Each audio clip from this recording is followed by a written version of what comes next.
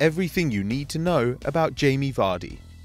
Jamie Richard Vardy was born on the 11th of January 1987 in Sheffield and was raised by his mother Lisa after his father left at an early age. The Englishman played football as a kid and joined his boyhood club Sheffield Wednesday, whom he still supports to this day, but was released aged 16 when the club told him he was too small to make it as a professional player.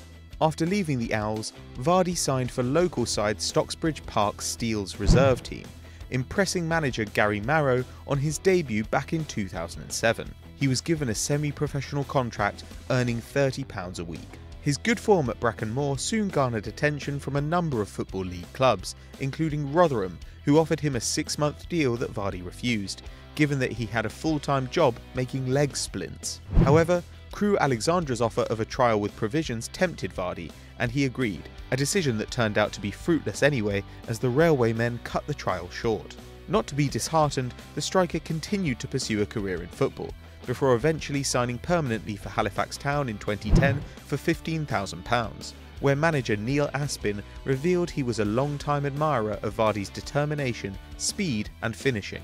In his first season with the Shaymen, Vardy bagged 26 goals in the league and nearly scored three consecutive hat-tricks too, but fell just one goal short of the feat. With such unbelievable form, it came as little surprise when Conference Premier side Fleetwood Town swooped. Vardy got off to a flyer at his new club, netting 34 goals in just 42 games. This included an impressive cup run with the Cod Army that eventually ended after a 5-1 drubbing by local rivals Blackpool. Despite this, Tangerines manager Ian Holloway was so impressed with Vardy that he made an on-the-spot offer of £750,000. The club rejected the bid though as they wanted over a million for their star striker. That wish was eventually granted by Leicester City's Nigel Pearson, who paid £1 million rising to £1.7 million, a record fee for a non-league footballer. One stipulation of the deal was that should Vardy be sold again by the Foxes, Fleetwood would receive at least 20% of the fee. Now that is long-term vision. Upon joining Leicester, Vardy struggled to get a foothold in the side and found it tough to adapt to life in the Championship, so much so that he considered quitting football in 2013, only for manager Pearson and assistant Craig Shakespeare to talk him out of it. After a summer of good old hard graft, Vardy came back with a new vigour, adapting to the league and refinding his scoring boots, bagging 16 goals and carrying Leicester to promotion. The Foxes struggled on their return to the Premier League under Nigel Pearson and found themselves rooted to the bottom of the table at Christmas. Again, Vardy struggled for goals and form. However, by March the Foxes produced a miraculous turnaround, climbing to 14th by May with Vardy winning the Premier League Player of the Month the club took an unprecedented 22 points after April 4th.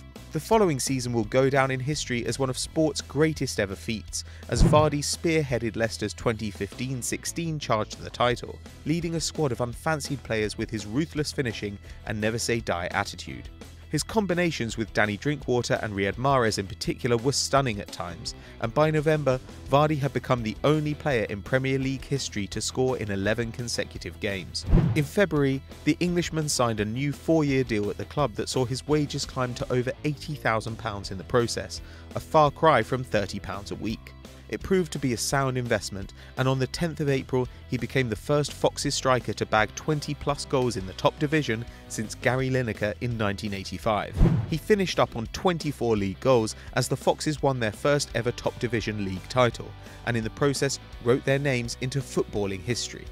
Now on the big stage representing England at Euro 2016, surely Jamie Vardy's stock will only continue to rise. So that was everything you need to know about Jamie Vardy, but how's he going to do with England at the Euros? Let us know what you think in the comments below. And talking of the Euros, why don't you check out everything you need to know playing on screen right now? And as always, guys, please do like and subscribe.